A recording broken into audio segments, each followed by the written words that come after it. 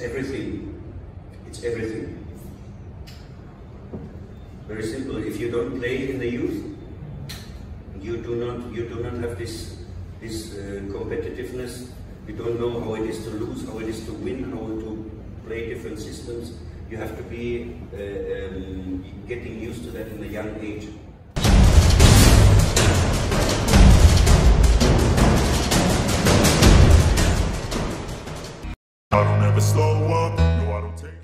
Sombongnya gak ngotak. Pelatih Filipina, Michael Weiss mengaku tidak sabar untuk menambah penderitaan timnas Indonesia di ronde kedua kualifikasi Piala Dunia 2026. Diketahui, Filipina akan menjadi tuan rumah saat menjamu timnas Indonesia pada matchday kedua grup F kualifikasi Piala Dunia 2026.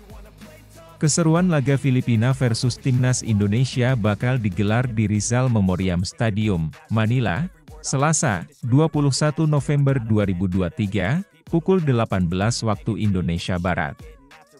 Baik Filipina dan timnas Indonesia diprediksi bakal tampil ngotot untuk mendulang kemenangan perdana.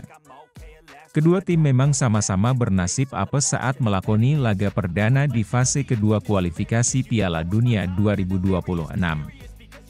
Kekalahan menjadi hasil negatif yang dirasakan Filipina maupun timnas Indonesia saat bertemu lawannya masing-masing. Filipina kalah dengan skor 2 gol tanpa balas melawan Vietnam, sementara timnas Indonesia dipecundangi Irak dengan skor 5-1. Kekalahan tersebut membuat Filipina dan timnas Indonesia mengoleksi 0 poin serta berada pada posisi dua terbawah di grup F. Kini, Kedua tim akan saling bertemu untuk memperebutkan poin perdana tepatnya di markas Filipina. Jelang laga tersebut, Siwar langsung ditebar oleh pelatih Filipina kepada timnas Indonesia. Dilansir TETHO, Michael Weiss mengatakan bahwa laga melawan timnas Indonesia akan terasa menarik. Hal ini dikarenakan timnas Indonesia baru saja menderita melawan Irak dengan kekalahan skor telak. Di tengah kondisi mental yang belum membaik, timnas Indonesia dipaksa harus melanjutkan perjalanannya untuk bertandang ke markas Filipina. Kelelahan mental dan fisik itulah yang ingin dimanfaatkan Filipina untuk mengalahkan timnas Indonesia. Laga selanjutnya melawan Indonesia mungkin kita akan sedikit lebih berjuang, akui Michael Weiss.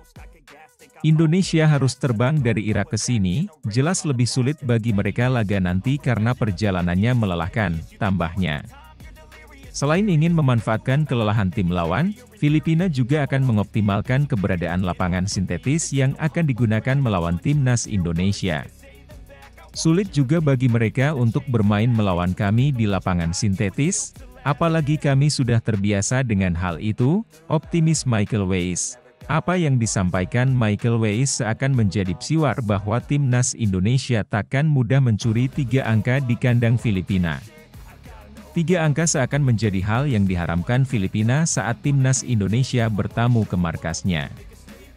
Berkaca dari rekor pertemuan kedua tim, Filipina memang kerap kali mampu menyulitkan timnas Indonesia terutama ketika bermain di kandang sendiri.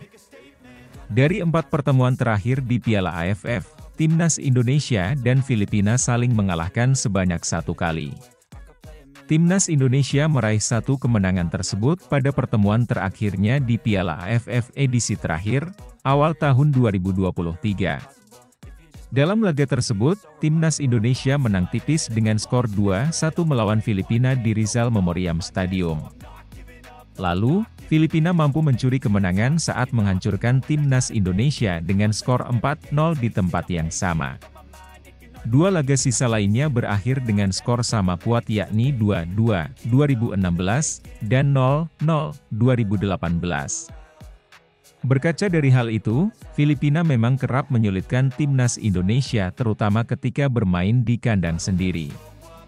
Lapangan sintetis yang selama ini digunakan Filipina seakan menjadi tantangan bagi pemain timnas Indonesia yang tidak terbiasa dengan kondisi tersebut. Hal itulah yang akan coba dimanfaatkan Filipina saat menjamu timnas Indonesia pada matchday kedua kualifikasi Piala Dunia 2026. No, I don't take shit. I got no love for the fakeness. If you wanna play tough and wanna hate this, I'll always show up.